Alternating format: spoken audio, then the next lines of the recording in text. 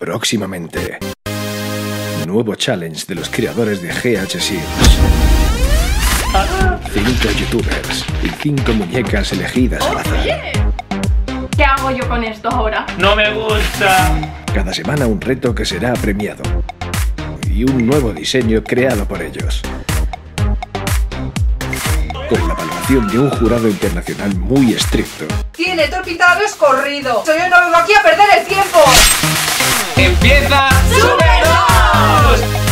cómo no, con el voto del público, quien nominará y expulsará al vestido menos elaborado sin saber a qué youtuber pertenece.